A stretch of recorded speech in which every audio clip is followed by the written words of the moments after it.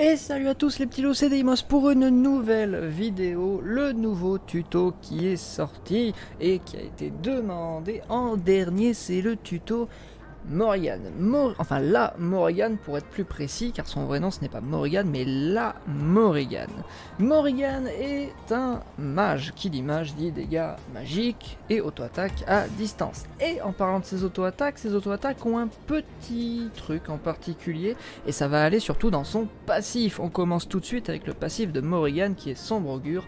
En gros, la troisième auto-attaque de, l'enchaînement de Morrigan va faire des dégâts périodiques aux ennemis proches de la cible, c'est-à-dire qu'elle va faire une auto-attaque de zone qui va faire 9% euh, de dégâts en PV max périodiquement pendant 3 secondes ça fait extrêmement mal. Donc faites attention, il n'y a pas par exemple, il n'y a pas que Morrigan qui a un enchaînement avec une auto-attaque de zone en étant mage, il y a aussi Isis. Isis a le pas le même passif, euh, la troisième auto-attaque d'Isis ne fait pas 9% de dégâts en PV max, mais elle fait quand même une, auto-attaque de zone. Donc attention, qu'est-ce que ça veut dire? Est-ce qu'il faut faire attention surtout contre ces dieux quand on est level 1 et qu'on fait sa lane? Exactement, il faut faire extrêmement attention car elles vont avoir un bien meilleur dépush que vous. Si vous jouez un autre dieu, que ce soit euh, Scylla, Janus, Ra, Thoth, etc. etc. Au level 1, vous aurez beaucoup moins de dépush que. C'est sûr et certain, ils vont vous déglinguer au dépush. Qu'est-ce que ça veut dire? Ça veut dire qu'ils vont avoir leur level 2 beaucoup plus vite. Alors pour Morrigan, ça peut être un peu dangereux, mais pas trop. Par contre, Isis, ça peut être extrêmement dangereux. Quel est son level 2 avant vous? Son 2 et son 1 est un excellent combo en termes de contrôle et en termes de dégâts. Et ses autos font aussi extrêmement mal. Donc faites attention à ça quand vous jouez contre Isis et Morrigan. Reculez, vous n'aurez pas votre level 2 avant elle. Donc faites attention, reculez parce qu'elle peut vous donner, elle vous pouvez devenir le first blood avec ce genre de choses. Ça arrive très souvent quand je joue Isis ou Morrigan de prendre le First Blood parce que c'est extrêmement simple de l'avoir parce que les gens ne savent pas jouer contre Morrigan et Isis. Qu'est-ce qu'il faut faire? Eh il faut tout simplement mettre son ego de côté, arrêter de dépush la lane trop proche de Morrigan ou d'Isis et reculer sous tour et finir la lane tranquillement en attendant que le jungler arrive. Si vous donnez le First Blood, vous allez lui donner énormément d'avance au gold, beaucoup d'avance à l'XP et voilà, donc faites attention à ça. Morrigan et Isis sont deux mages qui sont très dangereux au level 1 parce que tout simplement elles peuvent dégoter, elles peuvent dégoter c'est peut-être pas le bon, mais elles peuvent avoir le level 2 beaucoup plus vite que vous. Je ne suis pas inactif, connard. Maintenant, parlons, nous avons parlé de Morrigan, donc son enchaînement auto, auto, auto-attaque de zone. Voilà, tout simplement. Maintenant, parlons de sa première compétence que nous allons voir. Il faut savoir que Morrigan, ses trois premières compétences sont extrêmement simples à comprendre. La quatrième compétence est aussi simple à comprendre, c'est juste que la quatrième compétence qui est l'ultime Morrigan. Euh, est très compliquée, tout simplement parce que pour les novices, Morrigan très souvent connu pour être le dernier dieu que vous allez apprendre, vous allez comprendre pourquoi. On repart tout de suite sur les compétences. La première compétence, c'est la compétence que vous allez prendre en premier, c'est votre compétence de dépush, c'est votre 2. Votre 2, vous allez euh, lancer une aura, euh, une vague de magie noire, on va, je crois que ça s'appelle comme ça en plus, une vague de magie noire qui va aller de 40 à 160 de dégâts. Vous allez me dire, ça fait pas beaucoup. Mais ce 2 a un passif. Quand vous allez toucher un dieu avec votre 2, vous allez lui infliger une marque. Cette marque, si le dieu ennemi est retouché par n'importe quelle compétence, que ce soit la vôtre ou celle d'un allié, il va la magie, la, marque va exploser et va refaire entre 40 et 160 de dégâts. Ce qui fait que vous allez faire 320 de dégâts avec Morrigan, plus les dégâts de la deuxième compétence qu'il va prendre. Donc imaginez s'il prend les calls, je sais pas, le, 2 de Scylla, imaginons, bon, Morrigan et Scylla par exemple, Morrigan va lancer son 2, il va prendre 160 de dégâts, il va prendre les dégâts du 2 de Scylla, donc euh, dans les 300-400 de dégâts, et va reprendre 160 de dégâts par l'explosion de la marque. C'est là où Morrigan est extrêmement forte en teamfight, tout simplement parce que votre 2 va pouvoir toucher plusieurs dieux et va pouvoir marquer plusieurs dieux. Si tous ces dieux prêtent des compétences dans la gueule juste après, ça va commencer à faire bobo. Donc voilà, c'était le 2 de Morrigan en termes d'animation. C'est en ligne droite, c'est rapide, c'est efficace, on apprécie. Parlons maintenant de la deuxième compétence de dégâts, c'est votre 1. Votre 1, vous allez faire entre 80 et 300 de dégâts, ça fait extrêmement mal. Et vous allez étourdir la cible pendant une seconde. Comme ceci. Quand vous allez toucher un dieu, ça va l'étourdir pendant une seconde. C'est pas plus con. C'est très simple à comprendre. Le 3, maintenant, voilà ce qui rend Morrigan extrêmement fort, c'est que c'est un Loki version mage. Et oui, vous l'aurez compris si je dis le mot Loki, Morrigan peut devenir invisible avec son 3. Comment ça va se passer? Vous allez lâcher un clone de vous qui va courir dans la direction où vous avez regardé pendant, quelques, pendant une ou deux secondes. Je pense que c'est deux secondes. Le clone va s'arrêter et disparaître, et vous, pendant ce temps, vous allez être invisible. Votre vitesse de déplacement va augmenter de 30 jusqu'à 40% et la durée de l'invisibilité va durer entre 4 et 6 secondes. Voilà comment ça se passe. Quand j'appuie sur 3, vous voyez une petite zone. Cette petite zone est en fait la zone d'apparition de votre clone. Si je regarde par là-bas, le clone va courir par là-bas. Et pendant ce temps, moi, je suis complètement invisible. Donc ça, c'était les trois compétences de Morrigan. Donc vous l'aurez compris, on a un stun au corps à corps, on a un très bon dépush et on a une invisibilité. Voilà, ça c'était les trois compétences de Morrigan. Vous l'aurez compris, euh, son combo classique c'est souvent ça. Vous, mettez invisible, vous stunnez la cible, auto, de auto. Tout simplement. Si vous êtes en 1v1, je ne vous conseille pas ce combo. Si vous savez que vous allez être en 1v1, je vous rappelle que votre 2 lâche une marque. Donc si vous mettez votre 1, puis après votre 2, vous n'avez pas d'autres compétences de dégâts à mettre, sauf avec votre ulti bien entendu, mais on parle pas de l'ulti pour l'instant. Donc il y a un autre combo qui existe, c'est-à-dire inverser le 1 et le 2 pendant le combo, c'est-à-dire vous faites 2, auto, 1. Et là il prend les dégâts de la marque 2 du mauvais présage. Voilà. On a parlé du combo, maintenant on va encore parler du combo parce qu'il faut savoir que Morrigan a un défaut. On se dit, bah tiens, elle devient invisible, elle peut stun la personne, et le mec le voit pas venir. Alors certes, on voit pas venir Morrigan. Par contre, si vous jouez mal, il y a risque qu'on vous entende. Car attention, écoutez bien.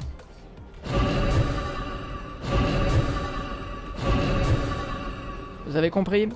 Ce bruitage, il n'y a pas que vous qui l'entendez les ennemis aussi l'entendent. Et quand vous êtes invisible, ce bruit aussi vous l'entendez. Donc faites attention à ça quand vous voulez ganker quelqu'un sans qu'il le sache. Imaginons je veux ganker euh, le Odin qui est en train de marcher là-bas. Si je fais ça, c'est mort. Il m'a entendu, il va fuir. Ça c'est sûr et certain, il m'a entendu. Ce qu'il faut faire pour gank quelqu'un, c'est tout simplement, sachez que quand même l'invisibilité dure entre 4 et 6 secondes. Là, il est loin. Là, il ne m'a pas entendu. Et je peux le chercher. Voilà, tout simplement.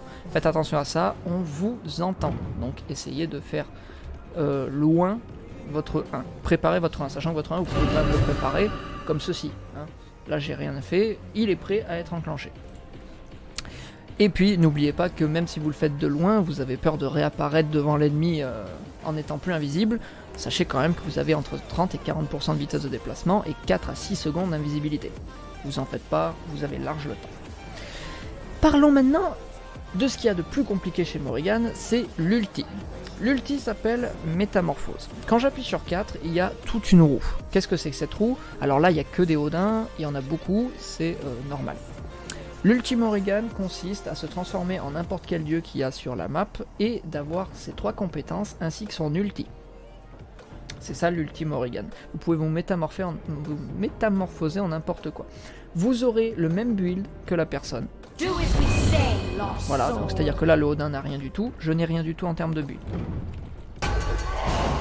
Et j'ai son ulti. Alors oui, là l'ulti bug, je sais pas pourquoi en entraînement jungle l'ulti Odin bug. Mais bon, ça, c'est qu'un détail. Donc, je peux me transformer en n'importe quel dieu. Là, il n'y a que des Odins. Imaginons, je veux me transformer en Odin. Je fais ça. Et là, j'ai toutes ces compétences. Voilà. C'est tout. ça, c'est tout. Vous avez le même build. Et aussi, petit aparté qu'il faut savoir, les points que vous allez mettre dans vos compétences vont être les mêmes que quand vous, allez vous transformer. Exemple tout con. Euh, si vous vous transformez en Poséidon. Imagine, alors, on va aller de base en base. Je suis Morrigan, j'augmente mon 2. C'est mon 2 qui fait le plus mal. Poséidon, son 2, c'est de la vitesse de déplacement. Si je me transforme en Poséidon, le 2 que j'ai maxé va rester comme tel. Alors que Poséidon, lui, le joueur qui joue Poséidon a augmenté son 1 et son 3, par exemple. Vous, vous avez augmenté votre 2 et votre 1. Et ben le 2 que vous avez maxé, quand vous allez vous transformer en Poséidon, ça va être le 2 de, votre Poséidon à vous qui va être maxé. Ça va pas être votre 3, par exemple. Vous n'avez pas maxé votre 3, le 3 de Poséidon qui est euh, une immense zone d'eau qui fait des dégâts périodiques, va être que niveau 1. Au lieu d'être niveau 5 ou 4, comme Poséidon, lui, a maxé ses compétences de côté. Donc vous, vous gardez les mêmes points dans vos compétences. Par contre, vous avez le build de la personne dont vous êtes transformé. Donc si la personne est feed, c'est très très bien. Et vous avez ses compétences, son ulti. Et puis voilà. La transformation dure 10 secondes. Et vous avez effectivement aussi, comme vous l'avez compris, si vous avez le même build, vous avez aussi les mêmes statistiques. C'est-à-dire que si vous êtes dans la merde, et que il faut tanker quelque chose, par exemple, je sais pas, vous êtes low, il y a un ulti Niwa, vous vous dites si je reste en Morrigan, je vais mourir. Vous vous transformez en votre support, et vous allez tanker. C'est là où Morrigan est extrêmement polyvalente. Les excellents joueurs de Morrigan et sont très polyvalents et littéralement increvables, tout simplement parce qu'à chaque fois qu'il y a un ulti ou quelque chose, ils savent exactement en quoi se transformer pour survivre je sais pas moi, un gros contrôle arrive, il se transforme en Amaterasu, il ulti, il élimine contrôle et il peut fuir à 3 km avec l'ulti Amaterasu, par exemple. Il veut fuir encore plus loin, il se transforme en Janus, il ulti. Parce que Janus, forcément, son ulti, c'est une multitude de portails qui traversent la map, donc on peut s'enfuir extrêmement vite. Voilà, ça c'est l'ultime Morrigan, donc vous l'aurez compris, l'ultime Morrigan est très très très compliqué dans le sens où il faut apprendre tous les dieux. Il faut apprendre les compétences des dieux, savoir qui a des immune control, qui est en qui dans votre équipe, il va falloir regarder un petit peu les builds, savoir qui est feed, est-ce que c'est intéressant de se transformer en mon jungler ou en le jungler adverse, parce que est-ce que le jungler adverse est en avance? Oui, il a un item de plus, bah, dans ces cas-là je vais me transformer en lui. Oui, mais est-ce que je sais le jouer?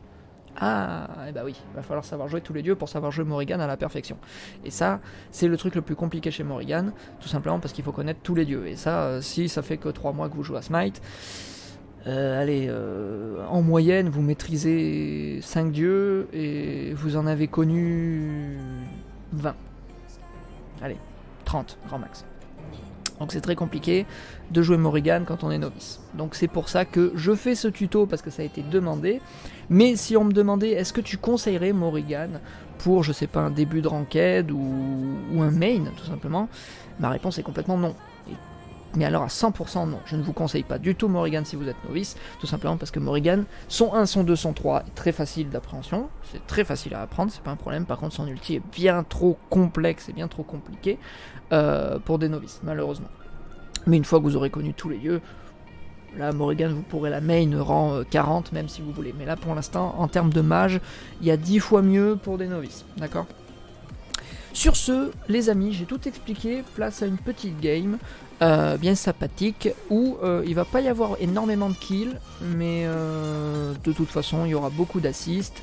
Et puis voili voilou, je vous souhaite une bonne fin de journée et encore merci pour tous les abonnements. On est bientôt 100 et oui, on est bientôt au palier des 100 abonnés, donc si vous passez par là et que notre contenu vous plaît, notre contenu, oui c'est ça, dans ma tête, j'ai dit votre, mais non, notre contenu vous plaît. N'hésitez pas à vous abonner si euh, vous voulez euh, continuer à nous regarder quotidiennement. Sur ce, les petits loups, bisous câlins, à tout de suite.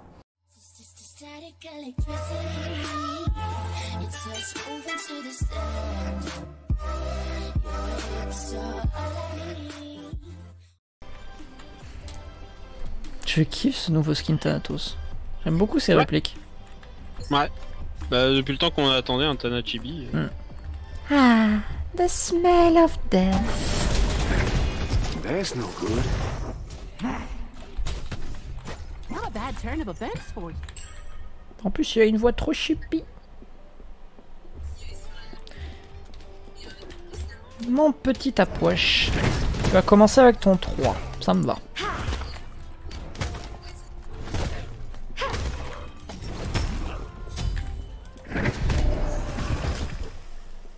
C'est ça, fuis Et ne reviens jamais.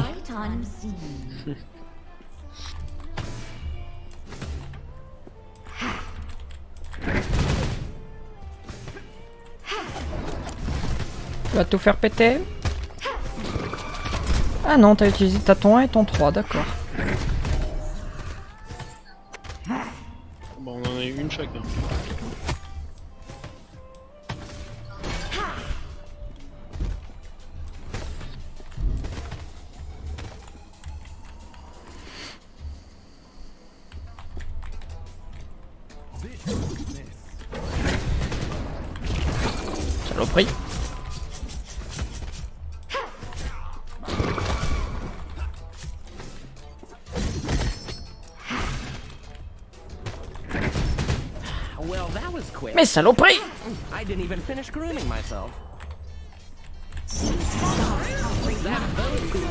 Existence. Oh, dommage.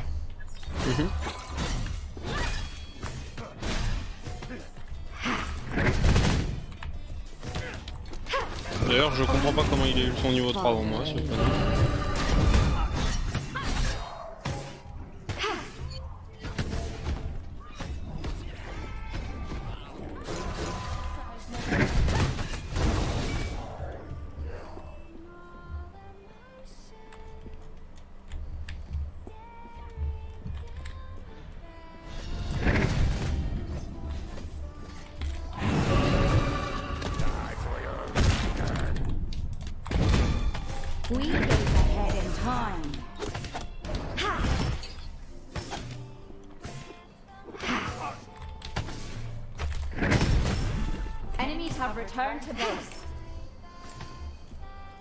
J'ai peut-être le temps de sympathy?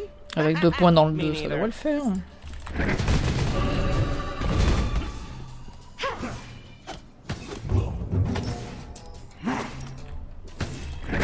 Nickel. Be right back. Enemy missing. Il a son rouge ou pas Spellbound. eye. Non. Non, je crois pas. Non, c'est pas ça que je veux, c'est le baron. Voilà. Enfin, le breuvage de soin. Mais pourquoi ça m'a pas acheté mes boots? Voilà, C'est bon, merci. j'ai fait le rouge de. Oh. Well done. Your future looks bleak.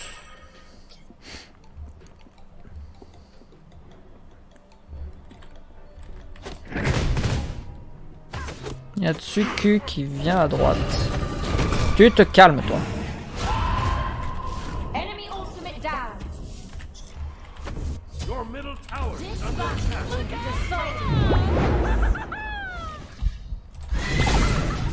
Quelle est la partie du. Tu te calmes, t'avais pas compris. first enemy saved them. We gaze ahead in time. Après ma partie, ouais. Ha! They took the laser bait.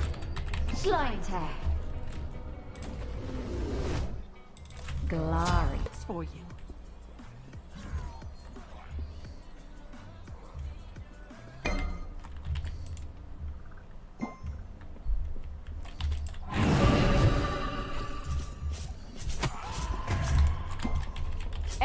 D'accord, le Apoche a dû entendre mon 1, il a ult. Il est taré.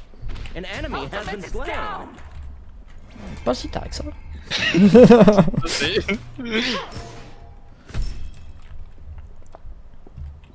La poche il a fait ok, hein, bah écoute, euh, fais comme chez toi. hein. Il est sur son raid.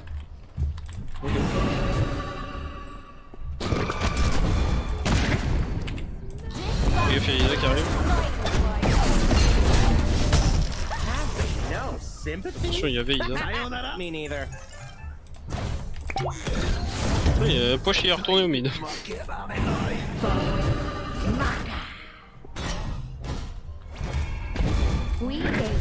Oh, je loupe tout j'ai j'ai littéralement un PV.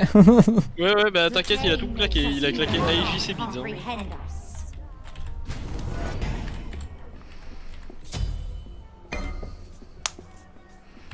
Putain, Apoche et moi, euh, moi je nous félicite. Hein. Nos T1 sont encore debout à 20 minutes. Hein. Bah, Baron. euh, Par aussi. contre, Baron, euh, ils sont en train de se faire violer. Enemy missing middle. Cancel that.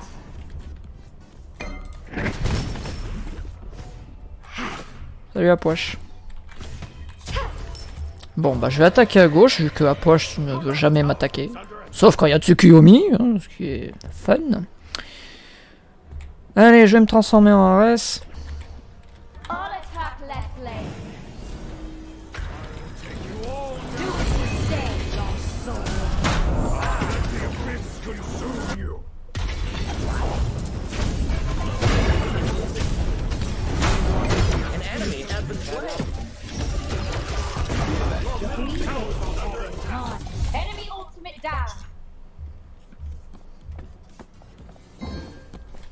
Yes.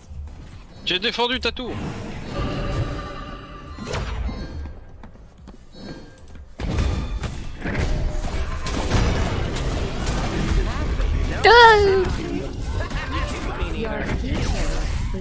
Danza, il est pas content.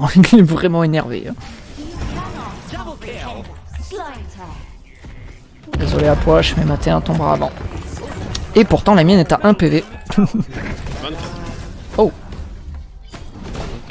Désolé à poche, mais ta T2 va tomber. Attack fire giant. Attack middle lane.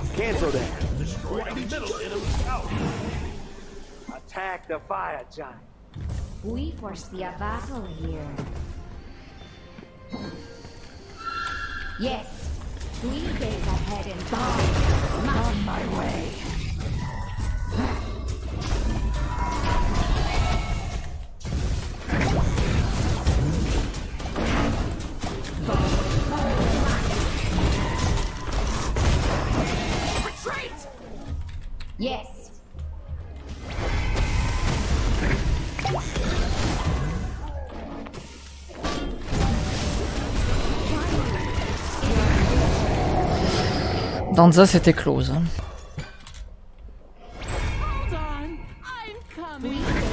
C'est bon, je peux me le bouffer lui, Titsuko. Be careful, middle. J'arrive, Danza On my way On my way. Oh bah, il y a déjà Athéna, ça va. Mais la bac elle est ulti. Your team has destroyed a left enemy. On peut faire le scorpion. hein. Attack. Your future. Tout le monde n'est pas cet avis. Non, pas, tout le monde s'en fout D'accord. Vous voyez les phoenix, d'un autre côté on a le fire, c'est vrai que c'est pas con. Mais il faut grouper. Group up. Ouais. Attaque Moi je m'en rends de la. Attack left lane. Please. Group up.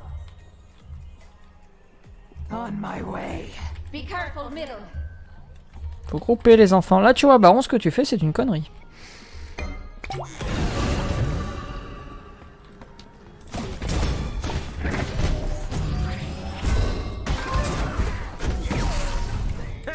They took the laser bait. Attack left lane. On my way.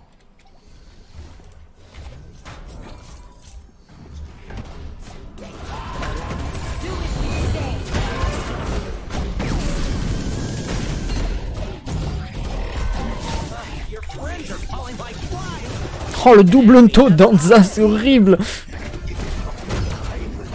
Your magic knows no bounds.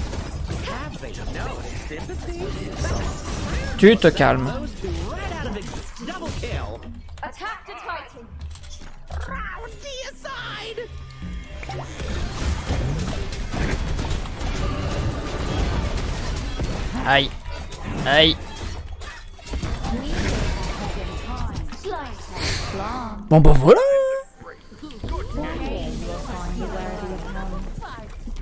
C'était une bonne game. J'ai joué un petit peu le rôle du support, certes. Mais sympathique. Par contre, ouais, je viens de réaliser que le double taunt d'Anzaburu avec Morrigan, en fait, il fait du yo-yo sur nos deux flasques. C'est pété. C'est ça.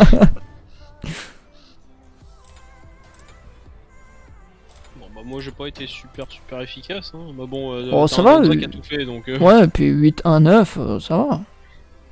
Ouais. T'as dit toi que j'ai fait du 4-1-12, hein. j'ai pas fait non plus un taf d'enfer. Hein. Ouais, ouais, non mais on s'est fait carry par Danza qui a déboîté Izanami. Euh, par contre, la pauvre, ouais, 1-11. euh, T'en dirait mes games quand mon support se suicide et quand j'ai pas de gank. en même temps, c'est un peu le cas, j'ai pas l'impression que Tsuku a beaucoup allé en duo. Bah pff, en même temps comment tu veux gank un Dan- Danzaburo archi-feed euh, Tu marques un point là-dessus, c'est vrai. Elle donne le first blood, attends, Isa elle donne le first blood et derrière elle crève 3-4 fois encore. Donc euh, Tsuko il fait Hmm, Sachant que le Thanatos il m'a foncé dessus, il m'a buté. S'il continue de prendre de l'avance ce fils de pute parce que j'essaie de ganker Danza je vais pouvoir aider personne hein Surtout Bon, que d'un autre côté, euh, mais, je euh, comprends mieux pourquoi en fait euh, Tsuku euh, était en coloc euh, avec Apoash, hein, parce qu'en même temps Baron il tankait comme un porc. Bah c'est ça, c'est Baron et Achille. euh, genre, je disais que je gank Achille et il me disait cancel that. genre, t'y perds du temps. Ouais, C'est avec moi qui était vraiment squishy. quoi. Enfin, il y avait Danza, mais Danza lui il était juste euh, archi-feed. C'est ça. Coup, euh, Et moi, d'un autre côté, il pouvait pas vraiment m'agresser, j'avais 3 levels de plus qu'Apoash. Ouais, non mais voilà, c'est. Il s'est dit à choisir entre le Danza qui défonce tout et la Morrigan euh, qui euh, est possiblement gankable avec une coopération de Apoash. Je vais rester avec. euh, Et j'ai resté sur la ligne, euh, sur le mid. quoi.